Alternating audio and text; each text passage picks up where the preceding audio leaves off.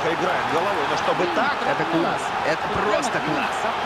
Я прямо слышу этот звон, с которым он забил мяч.